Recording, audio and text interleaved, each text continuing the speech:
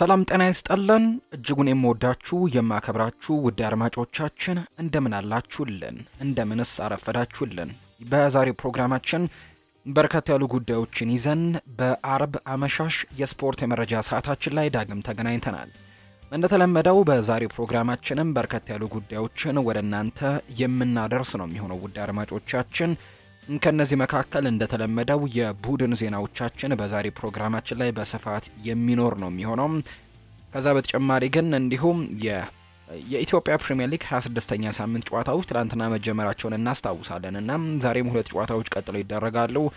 ወደ ፕሮግራማችን መጨረሻ ላይ እነዚህን ሁለት ጉዳዮች እንዳሰሳለን። በሳዑዲ ፕሮ ሊግ ትላንትና ሁለት ሲጠበቁ የነበሩ ጨዋታዎች ነበሩና አልናስር እንዲሁም ደግሞ አልሂላልም ትናንትና ጨዋታቸውን ማድረግ ችለዋል። የእነሱንም የጨዋታ ውጤት እንገልጽላችኋለን። ነገር ግን አብዛኛውን ጊዜያችንን የምናደርገው ከዝውውር ጋር በተያዘ የተለያዩ መረጃዎች እየወጡ ይገኛሉ። ከተጫዋቾች ዝውውርም ከአሰልጣኞች ዝውውርም ጋር የተያዙ በርከት ያሉ መረጃዎች እየወጡ ነው እና በተለይም አውሮፓ ላይ ያሉ ትልልቅ ቡድኖች የአሰልጣኝ ፈላጊ ሆነዋል። አሁን ላይም ከጀርመን ባየር ሚኒክን ማንሳት እንችላለን። እንዲሁ ደግሞ በእንግሊዝ ማንቸስተር ዩናይትድ ቸልሲን ጨምሮ እንዲሁ ሌሎች ክለቦችም እነ ብራይተንም የአሰልጣኝ ፈላጊ እንደሆኑ ይታወቃል እና ከሁሉም ቡድኖች ጋር ማለት ይቻላል ተመሳሳይ የአሰልጣኝ ስሞች ናቸው እየተነሱ የሚገኙትና የትኛው ወደ የትኛው ሊያመራ ይችላል የሚለው ጉዳይ እስካሁን አልተረጋገጠም። ውድ አድማጮች የማንቸስተር ዩናይትድን ጉዳይ ያልኩት አሰልጣኝ ኤሪክ ቴን ሃግ ምናልባት ሊሰናበት የሚችልበት እድል ሰፊ ነው እየተባለ ስለሆነ እንዲሁ ማንቸስተር ዩናይትድ ኤሪክ ቴን ሃግን የሚያሰናበት ከሆነ እንግዲህ አሰልጣኝ ማምጣቱ አይቀርምና ነው ከተለያዩ አሰልጣኞች ጋር ስሙ እየተያዘ የሚገኘው። በርከት ያሉ ጉዳዮችን እናነሳለን። አርሰናል፣ ቸልሲ፣ ማንቸስተር ዩናይትድ፣ ማንቸስተር ሲቲ፣ ሊቨርፑል፣ ሪያል ማድሪድ፣ ባርሴሎና በርከት ያሉ ጉዳዮችን የምናነሳባቸው ክለቦች ናቸው። ታላላቅ የአውሮፓ ክለቦች ናቸው። ስለ እነሱ በርከት ያሉ መረጃዎችን እናነሳለን። አብራችሁኝ ቆዩ። በቅድሚያ የማንቸስተር ሲቲ ጉዳዮቻችንን በማንሳት እንጀምር። ማንቸስተር ሲቲ የሻምፒዮን መሆኑን እናስታውሳለን። የተወዳጁ የእንግሊዝ ፕሪምየር ሊግ ለአራተኛ ተከታታይ season ሻምፒዮን መሆኑን ያረጋገጠበት የውድድር ዓመት ነውና ከዛ ጋር በተያዘ በርካቶች ሀሳባቸውን እየሰጡ ይገኛሉ። ከነዚህ መካከል አንደኛው ተጫዋቻቸው ጄሬሚ ዶኩ ነው። ቤልጅማዊው ተጫዋች ጄሬሚ ዶኮ አሰልጣኙ ለሱ ስራ ሳልሰራ የመሰለፍ እድልን እንደማይሰጡኝ ያውቃለሁ። እኔ ራሴ ሁሉንም ነገር ማድረግ ነበረብኝ፣ እናም እዚህ መሆን እንደሚገባኝ ያሳያለሁ ሲል ተናግሯል። በዛው ያንን ያደረግኩ ይመስለኛል። እንደ ዌስትሃም ባሉ ጠቃሚ ግጥሚያዎች ላይ የሚያምነኝ ከሆነ ጥሩ ስራን ሰርቻለሁ ማለት ነው ሲልም ነው የተናገረው ጄሬሚ ዶኩ። ስለዚህም የመጀመሪያው የውድድር ዘመኔ ላይ ረክቻለሁ ሲል ነው የተናገረው።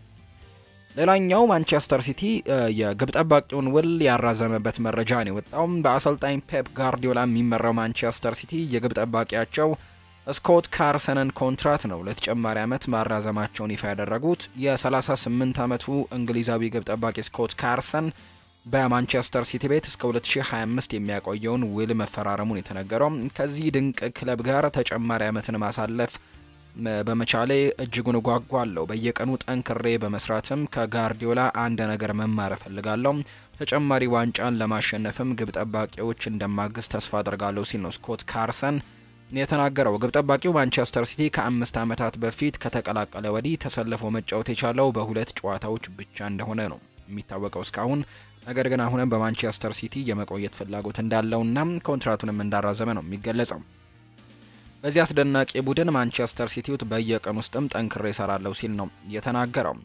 ቲኪ ቤርጌስታይንም እንግዲህ ሲናገሩ ስኮት ካርሰን በቅርብ የውድድር ዘመናት ለስኬቶቻችን አስፈላጊ ነው። የቡድን አጋሮቹን በመደገፍና እንደ ምርጥ የግብ ጠባቂ ክፍላችንም ጠንክሮ ልምምድ አድርጓል። ኮንትራቱን ለማራዘም በመስማማቱ በጣም ደስ ብሎናል።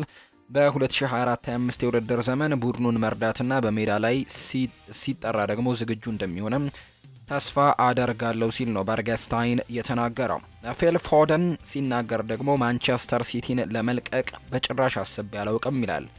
ፊል ፎደን በዋናው ቡድን ውስጥ በነበርኩበት ጊዜ ብዙ ጨዋታዎችን አላገኝም፣ ምክንያቱም አሰልጣኙ በተናገረው ስለማምንና ስለማምን ነው ሲልም ነው የተደመጠው ፊል ፎደን። አሁን ላይ ግን በቋሚ ተሰላፊነት በደንብ ጊዜዎችን እያገኘሁ ነው። ስለዚህም ከማንቸስተር ሲቲ በፍጹም የመልቀቅ ሀሳብ የለኝም ሲል ነው ፊል ፎደን የተናገረው። ዘንድሮ በተወዳጁ የእንግሊዝ ፕሪምየር ሊግ ለማንቸስተር ስኬትን ካመጡ ተጫዋቾች መካከል ግንባር ቀደሙ ነው ማለት እንችላለን። በፕሪምየር ሊጉም የአመቱ ምርጥ ተጫዋችነትን ሽልማትን የሚያሸነፈው እሱ ነው። ድንቅ ተጫዋች እንደነበር አሳይቷል። በአውሮፓ ቻምፒየንስ ሊግም ጥሩ ግስጋሴን አስመልክቷል እና ወደፊት ትልቅ ተስፋ ከሚጣልባቸው አይነት ኮከቦች አንዱ ነው ፊል ፎደን። እንዲሁም ፔፕ ጋርዲዮላም አንድ ሀሳቡን ሰጥቶ ነበር እና ባሎንዶርን ማሸነፍ ከሚችሉ ተጫዋቾች መካከል አንዱ ነው። ጨዋታን ማሸነፍ ከፈለክም ፊል ፎደንን ሜዳ ላይ ይዘው መግባት አለብህ ሲል ነው ፔፕ ጋርዲዮላ የተናገረው። ዘንድሮ ማንቸስተር ሲቲ ስኬታማ እንዲሆንም በተለይም የኬቨን ደብሮይና ለበርካታ ጨዋታዎች በጉዳት ምክንያት አለመኖር እንዲሁ ኤርሊንግ ሃላንድም በጉዳት ምክንያት አለመኖር ፊል ፎደን እንግዲህ የእነዚህን ተጫዋቾችን ሲሸፍን አቋማቸውን ሲሸፍን እንደነበር እናስታውሳለን። ጎሎችን በርከት አድርጎ አስቆጥሯል። ስለዚህም የዘንድሮ የውድድር ዓመት የተወዳጁ እንግሊዝ ፕሪምየር ሊግም ምርጡ ተጫዋች ነው። በርናርዶ ሲልቫም ይናገራል። ፕሪምየር ሊግን ማሸነፍ ቀላል አይደለም፣ በጣም ከባድ ነው። አንዳንድ ሰዎች ያደረግነው ነገር አቅልለው ይመለከቱታል። እናም በሰባት ዓመታት ስድስቱን ስላሸነፍን ቀላል ነው ብለው ያስባሉ። ነገር ግን አንድ የፕሪምየር ሊግን ማሸነፍ በጣሙን ከባድ ነው ሲል ነው ፖርቱጋላዊው በርናርዶ ሲልቫ እየተናገረ የሚገኘው። ተጫዋቹ ከሌሎች የአውሮፓ ታላላቅ ክለቦች ጋር ስሙ እየተያዘ ነው። ማንቸስተር ሲቲዎች 50 ሚሊዮን ፓውንድ የሚያቀርብ ቡድን ካለ ይህንን ተጫዋች መውሰድ ይችላል የሚል አይነት ሀሳብ እየሰጡ ነው። ተጫዋቹ በባርሴሎና የመጫወት ትልቅ ፍላጎት አለው። እንዲሁ ግን ባርሴሎና በ financial fair play ወይም ደግሞ በ financial መቀዛቀዝ ምክንያት በተለይም ከኮቪድ ወቅት በኋላ መጠነኛ የ financial ቀውስ ገጥሟቸዋል ባርሴሎናዎችና ያን ያክል ገንዘብ አውጥተው ተጫዋች ያስፈርማሉ ተብሎ አይጠበቅም። ነገር ግን በርናርዶ ሲልቫ ተደጋጋሚ ጊዜ ወደዚህ ቡድን ወይም ወደ ባርሴሎና የማምራት ፍላጎት እንዳለ ይገለጻል። ቸልሲን የተመለከቱ መረጃዎችን ደግሞ እናጋራቸው። ቸልሲ አንድ ወይም ደግሞ ሁለት የመሀል ተከላካዮችን ያስፈርማል ተብሎ ነው የሚጠበቀው። ስለዚህም ለ financial fair play ው ሲባል ትሬቨር ቻሎባ ሊሸጥ እንደሚችል ነው ፋብሪዚዮ ሮማኖ እየገለጸ የሚገኘው። ቸልሲዎች በእርግጥ በተከላካይ ስፍራ ላይ በጣም ልምድ አለው ተብሎ የሚታሰበውን ተጫዋቻቸውን ዘንድሮ ሸኝተዋል። ቲያጎ ሲልቫን እንግዲህ እሱን ሸኝተዋል ወደ ብራዚል ሊግ። ከዛ በተጨማሪ ግን ጥሩ ጥሩ ተጫዋቾቻቸው ጉዳት ላይ ናቸው። ለምሳሌ ያክል ወስሊ ፎፋናን ዘንድሮ ጭራሽ አልተመለከት ነው። በጉዳት ምክንያት አመቱን ሙሉ ከሜዳ ርቆ ነው እየተመለከትን የምንገኘውና የዚህን ተጫዋች ግልጋሎት አለማግኘታቸው እንዲሁም ደግሞ የሌቪ ኮልዊልም በዚህ ቡድን ውስጥ ያለ ተጫዋች ነው። ነገር ግን እሱም በጉዳት በርከት ያሉ ጨዋታዎች አልተሰለፈም እና እነዚህን ተጫዋቾች ማጣታቸው መጠነኛ መሳሳት ገጥሟቸዋል። በርከት ያሉ ጎሎች ተቆጥረውባቸዋል። ይህንንም ለማስተካከል ይመስላል ሁለት ወይም ደግሞ አንድ ቢያንስ ማለት ነው የመሀል ተከላካይ ስፍራ የሚጫወቱ ተጫዋቾችን ማምጣት የሚፈልጉት። ትሬቨር ቻሎባህ ግን ክለቡን ለቆ ሊወጣ እንደሚችል ነው ፋብሪዚዮ ሮማኖ እየገለጸ የሚገኘው። በተለይም ከማውሪዚዮ ፖቼቲኖ ጋርም መቃቃር ውስጥ የገቡበት ጉዳይ እንደሆነ ይነሳል።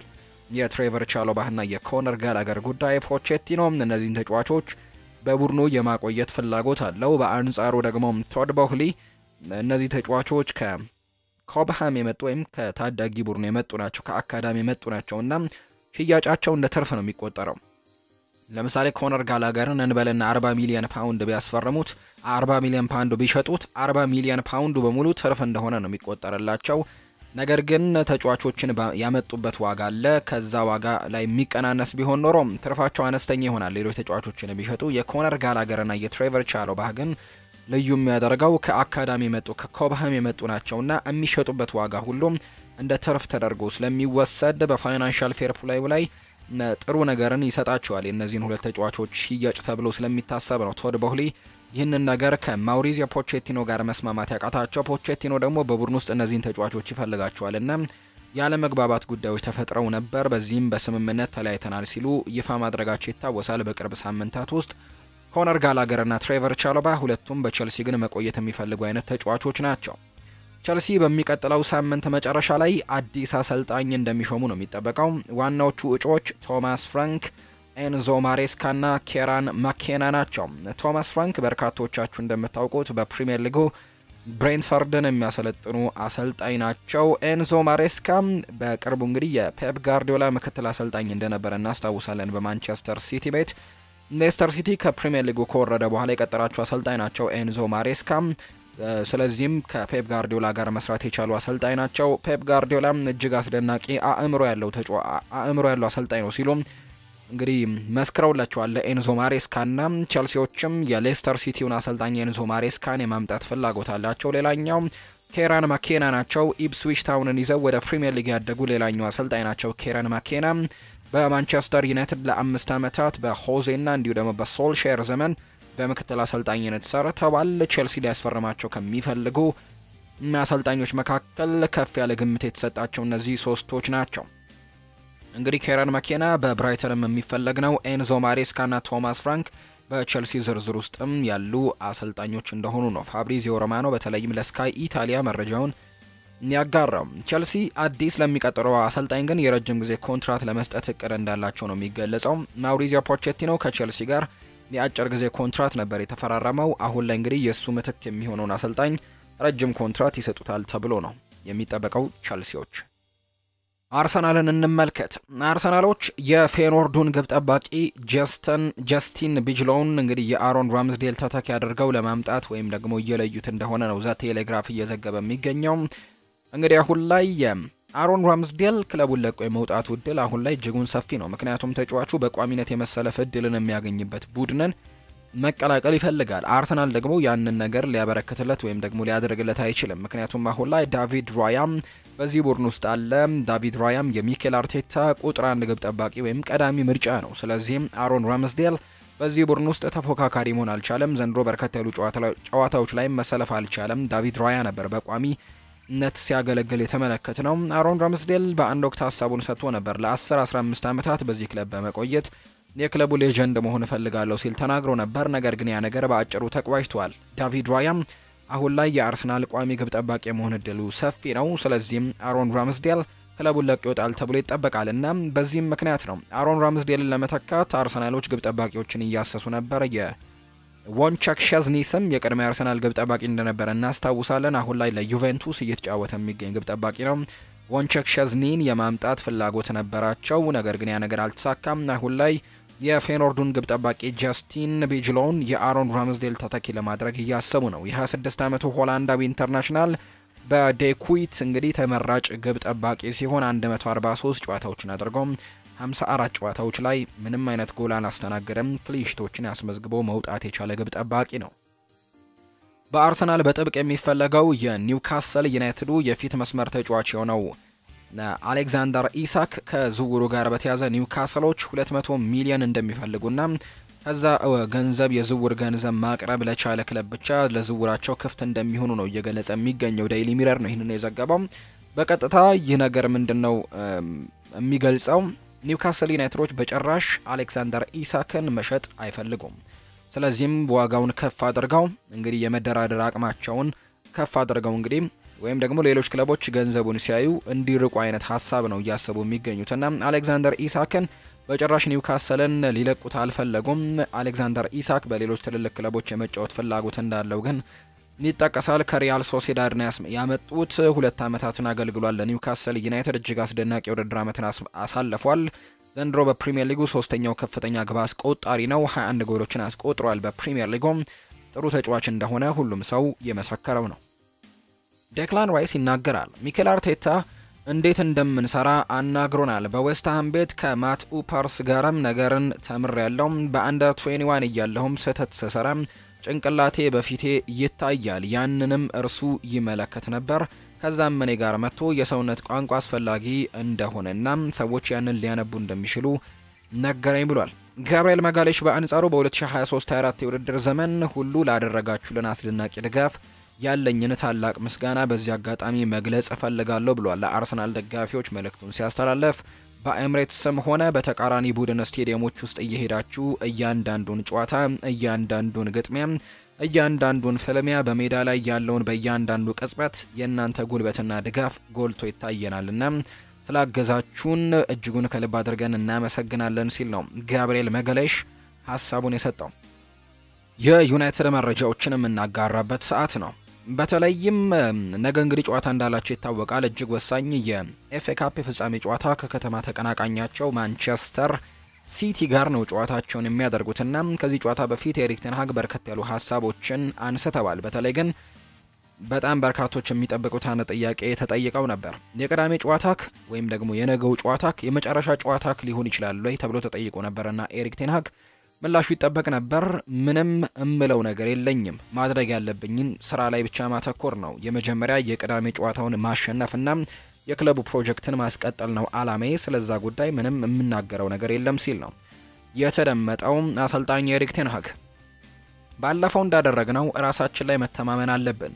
እናም የእኛ ምርጥ እግር ኳስ አጨዋወትን እንጠቀማለን። እናም ያንን ደግሞ ቅዳሜ ለማስመልከትም እንጠባበቃለን ያለው ይህ ክለብ ባለፉት አስርተ ዓመታት ብዙ ዋንጫዎችን አላሸነፈም። አሁን ግን በሁለት ተከታታይ ዓመታት ውስጥ ሁለተኛ ዋንጫ የማሸነፍ እድሉ አለን። አምና ካራባውን አሳክተን ነበር፣ ዘንድሮ ደግሞ ኤፍኤ ካፑን ለማሳካት እድሉ ሲል ኤሪክ ቴን ሃግ ይደመጣል።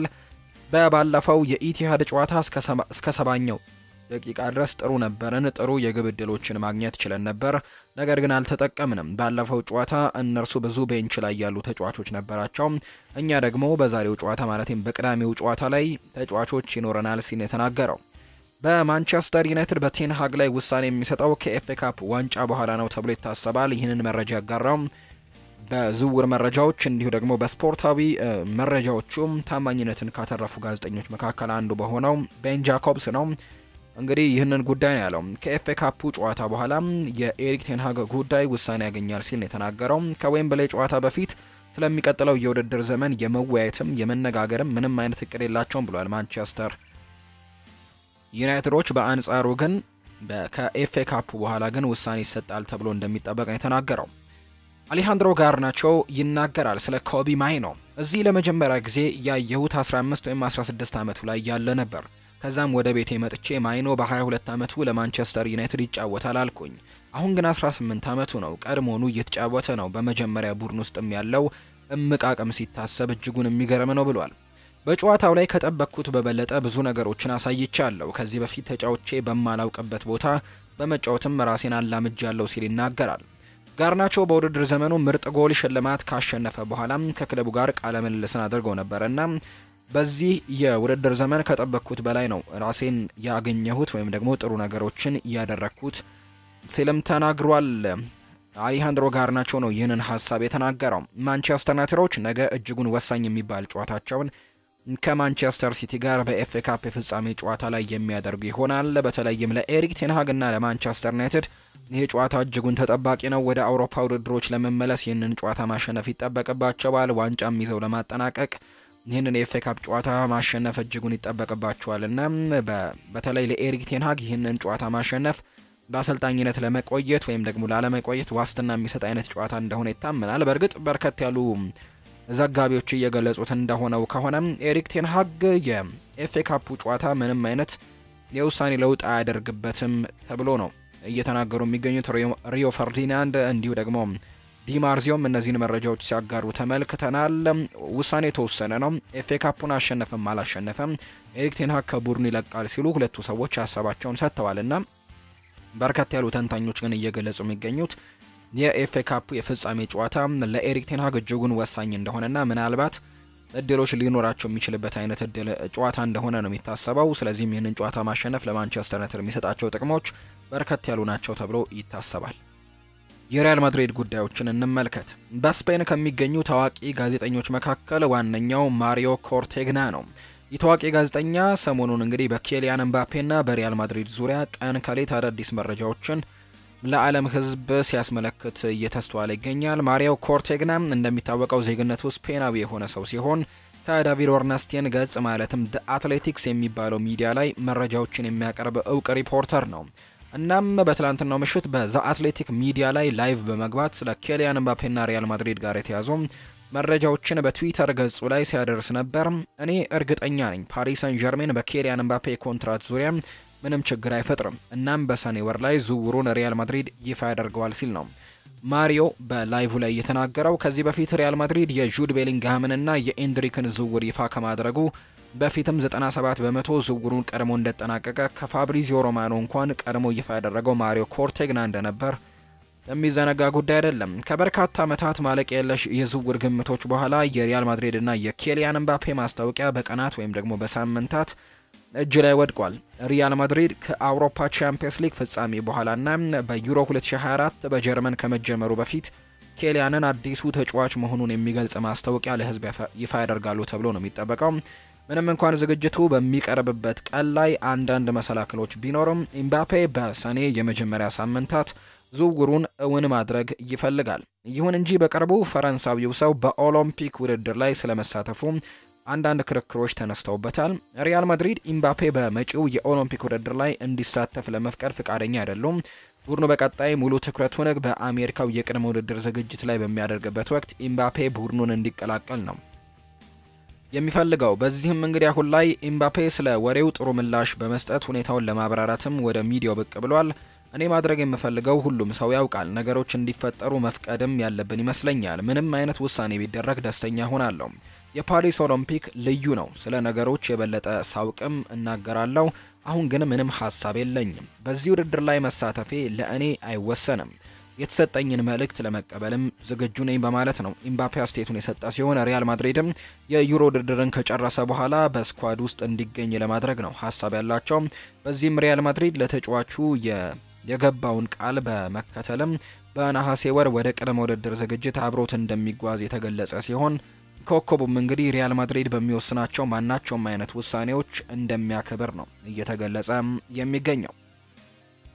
አርዳ ጉለር በዚህ የውድድር ዓመት ስድስት ጎሎችን ማስቆጠር የቻለ ተጫዋች ነው። በርከት ያሉ ደቂቃዎችን ሜዳ ላይ መመልከት አልቻልንም። በርከት ያሉ ጊዜያቶችንም በቡድኑ ማግኘት አልቻለም። ነገር ግን ያገኛቸውን አጋጣሚዎች ሁሉ ሲጠቀምባቸው እንደነበር እናስታውሳለን እና በዚህ የውድድር ዓመት ጥቂት ጨዋታዎችን ወይም ጥቂት ደቂቃዎችን አግኝቶ ስድስት ጎሎችን ግን ማስቆጠር ችሏል እና በሚቀጥለው የውድድር ዓመት ይህንን ቁጥር ካሻሻለም የሌላኛውን ቱርካዊ ተጫዋች በ Spanish ላሊጋ የነበረው ሌላኛው ቱርካዊ ተጫዋች የምናስታውሰው ነው ለአትሌቲኮ ማድሪድ ለባርሴሎናም ሲጫወት እናስታውሰዋለን። አርዳ ቱራን በላሊጋ ያለውን ስታቲስቲክስ እንግዲህ ሊያሻሽል የሚችልበት እድል አለው። አርዳ ጉለር ቱርካዊው የቀድሞ የባርሴሎናና የአትሌቲኮ ማድሪድ ተጫዋች የነበረው አርዳ ቱራን በላሊጋው 163 ጨዋታዎችን አድርጎ 18 ጎሎችን ሲያስቆጥር 26 ለግብ የሚሆኑ ኳሶችን አመቻችቶ አቀብሏል እና የሀገሩ ልጅ አርዳ ጉለር የበለጠ የጎል ማስቆጠር ችሎታ እንዳለው ባለፉት ጨዋታዎች ላይ እያሳየ ሲሆን በሚቀጥለው የውድድር ዓመትም ከኢምባፔና ከኤንድሪክ ጋር ልዩ የሆነ ፉክክር ይጠብቀዋል ተብሎ ነው የሚጠበቀው አርዳ ጉለር። የመጨረሻ መረጃችን እናድርገውና ሁለት ጉዳዮችን እናንሳ። ውድ አድማጮቻችን የኢትዮጵያ ፕሪምየር ሊግ ሁለት ጨዋታዎች ዛሬ ይደረጋሉ። መቻል ከሻሸመኔ ከተማና ባህር ዳር ከተማ ከወላይታ ዲቻ ጋር የሚያደርጓቸው ጨዋታዎች ናቸው። ቅድሚያ የሚደረገውን ጨዋታ እንዳስላችሁ። መቻል ከሻሸመኔ ጋር ይጫወታሉ። በደረጃ ሰንጠረዡ አናትና ግርጌ ላይ የሚገኙ ቡድኖች የሚያገናኘው ለዋንጫ እንዲሁም ላለመውረድም በሚደረገው ፍልሚያ ትልቅ ትርጉም ያለው ጨዋታ ብርቱ ፉክክር ይደረግበታል ተብሎ ነው የሚጠበቀው። ሶስት ተከታታይ ድሎችን አስመዝግበው ነጥባቸውን 50 ያደረሱት መቻሎች ኮስታራ የዋንጫ ተፎካካሪ እንደሆኑ እያስመሰከሩ ነው። በባለፈው ሳምንት የቅድመ ጨዋታ ዳሰሳችን ለመጥቀስ እንደሞከር ነው የጦሩ የማጥቃት አጫወት በብዙ መልኮች ጎልብቶ አስፈሪነትን ተላብሷል። እዚህ ላይ በዋነኝነት ሊጠቀስ የሚገባው ግን አማካዮቹ በማጥቃት ሂደቱ ላይ ያላቸው ጉልህ አስተዋጽኦ ነው። በተለይም በቅርብ ሳምንታት ለአማካዮቹ ይበልጥ የማጥቃት ነጻነትን የሰጡት አሰልጣኝ ገብረ ክርስቶስ ቢራራ ውሳኔያቸው የፊት መስመሩን ጥንካሬ ከመጨመር አልፎ የግብ ምንጮቻቸውንም አስፍቶላቸዋል። አማካዮቹ በተለይም በባለፉት ሁለት መርሃ ግብሮች የነበራቸው ተሳትፎና ያስቆጠሩት የግብ መጠንም የዚህ አንዱ ማሳያ ነው። ከቀደሙት ጊዜያት አንጻር በቁጥር በርከት ተብሎ የሚታየው የመጨረሻው የግብ ዕድሎችን ከተለያዩ አቅጣጫዎች ደጋግሞ የመፍጠር ሂደት በዛሬው ጨዋታ ላይም በመቻሎች በኩል የሚጠበቅ ጠንካራ ጎን ቢሆንም በመከላከል አደረጃጀቱ ግን ለውጦችን እንደሚሹ ነው ምልክቶች ያሳዩን። ጦሩ በማጥቃቱ ግልጽና የሚታይ በጎ ለውጦችን ማምጣት ቢችልም በመከላከል አደረጃጀቱ ግን ጥንካሬ መላላት ለዋንጫ በሚደረገው ጉዞ ትልቅ ስጋት ሆኖበታል። ቡድኑ አጥቅቶ በመጫወት ድፍረት ውስጥም ሆኖ ወደ ሜዳ ሲገባ በእንቅስቃሴ ለሚፈጠሩ ክፍተቶች ሁነኛ መፍትሄ ማግኘት ከአሰልጣኝ ገብረ ክርስቶስ ቢራራ የሚጠበቅ ትልቅ የቤት ስራ ነው። የተከላካይ መስመሩ እንግዲህ ፈጣንና ሰፊ የመጫወቻ ክፍት ቦታዎችን በአግባቡ ከሚጠቀሙ ቡድኖች በሚገጥምበት ወቅት የሚታይበት የንቃትና ፍጥነት እንዲሁም ደካማ የመከላከል እንቅስቃሴዎችን መቅረፍ ቀዳሚ ስራው መሆን ይኖርበታል። የተጠቀሱት ክፍተቶች በኢትዮጵያ ቡናውና በመጨረሻው የሐዋሳ ከተማው ጨዋታ በጉልህ የታዩ ክፍተቶች ነበሩ። የዛሬው ተጋጣሚያቸው ሻሸመኔ ከተማ በቅርብ ሳምንታት ያሳየው ለውጦችም ጦሩ በመከላከል አደረጃጀቱ በድጋሚ እንዲከልስ የሚያስገድደው ሌላኛው ምክንያት ነው። በ13 ነጥቦች 15ኛ ደረጃ ላይ የተቀመጡት ሻሸመኔ ከተማዎች በቅርብ ሳምንታት በብዙ ረገድ ተሻሽለው ጥሩ እንቅስቃሴዎችን ማድረግ ቢችሉም ካሉበት እንግዲህ ደረጃ ፈቀቅ ግን ማለት አልቻሉም።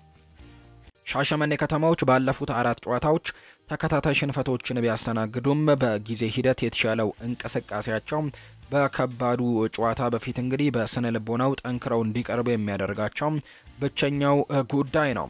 ቡድኑ በተከታታይ ሳምንታት ከተጋጣሚው የተሻለ እንቅስቃሴን አድርጎ የግብ ዕድሎችን መፍጠሩ እንዲሁም ደግሞ ከስድስት ተከታታይ ጎል አልባ ጨዋታዎችም ግቦችን ማስቆጠር መጀመሩ በጥሩነት የሚነሳለት ጉዳይ ቢሆንም በፊት መስመር ላይ የሚታየው ሕጸጽ የተሞላበት የውሳኔ አሰጣጥ ችግርን ለስህተቶች ተጋላጭ የሆነ የኋላ መስመር ከጨዋታ ውጤት ይዞ እንዳይወጣ እክል ሆኖበታል።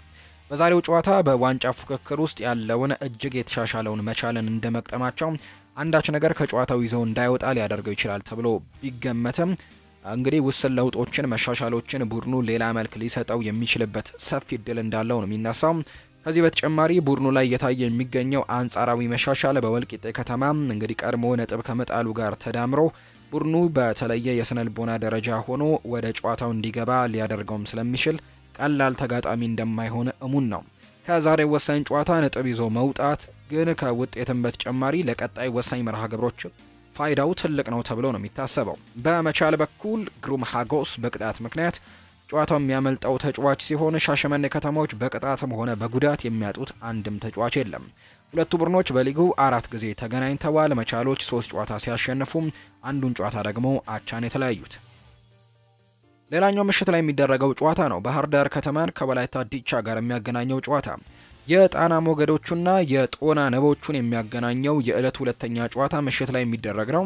በመጨረሻው ሳምንት ሀምበሪቾን ሁለት ለባዶ ያሸነፉት ባህር ዳር ከተማዎች ላለፉት 11 ጨዋታዎች ከሽንፈት ርቀዋል። አሁን ላይ የጣና ሞገዶቹ በመጀመሪያው ዙር የመጨረሻ ሳምንት ያስመዘገቡት ደካማ ውጤት ጎተታቸው እንጂ በቅርብ ሳምንታት በተከታታይ ያስመዘገቡት ውጤት በዋንጫ ፉክክሩ ከዋነኞቹ ተዋናዮች አንዱ የሚያደርጋቸው ነበር። ስለ ባህር ዳር ከተማ መሻሻል ከተነሳ ዋነኛ ተወዳጅ የሚሆነው የመከላከል አደረጃጀቱ ነው። ቡድኑ ከሽንፈት ከራቀባቸው 11 ጨዋታዎች ውስጥ በስምንቱ መረቡን ሳያስደፍር ከመውጣቱ ባሻገር የተመዘገቡት ግቦችም ሶስት ብቻ ናቸው።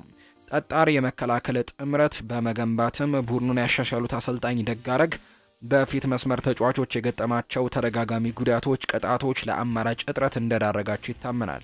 ቡድኑ ሀምበሪቾን በገጠመበት የመጨረሻ ጨዋታ በርካታ የግብ ዕድሎችን ፈጥሮ ሁለት ግቦችን ማስቆጠሩ በጥሩነት የሚነሳ ጉዳይ ቢሆንም ቀጣይነት ያለው ማጥቃትን ማሳየትና ውስን አፈጻጸም ክፍተቶችን ማሻሻል ቀዳሚ ስራ መሆን ይጠበቅበታል ተብሎ ነው የሚታሰበው። በዛሬው ጨዋታ ላይ ቢያንስ አንድ ነጥብ ካሳኩ በሂሳባዊ ስሌት በሊጉ መቆየታቸውን የሚያረጋግጡት ወላይታ ዲቻዎች በሁለተኛው ዙር ያስመዘገቡት ደካማ ውጤት በጥሩ መንገድ የጀመረው የውድድር ዓመታቸውን ሌላ መልክ አላብሶታል። ከውጤት እንግዲህ ከተስፋ ሰጪ ጥሩ የጨዋታ መንገድን ጋር አጣምሮ ጥሩ አጀማመር ማድረግ ችሎ የነበረው የመጀመሪያው ዙር በ22 ነጥቦች ስምንተኛ ደረጃን ማጠናቀቅ ቢችልም በሁለተኛው ዙር ግን ስድስት ነጥቦችን ብቻ በመሰብሰብ በደካማ ወቅታዊ አቋም ላይ ይገኛሉ።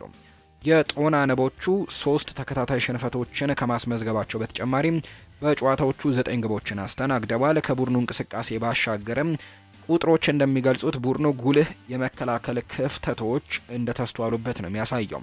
በተለይም በንግድ ባንክ አምስት ለባዶ የተሸነፉበት ጨዋታ ላይ የተከሰቱት እንግዲህ የተጋጣሚን አቀራረብ ያላገናዘበ የጨዋታ እቅድ ጋር ዋጋ አስከፍሏቸዋል።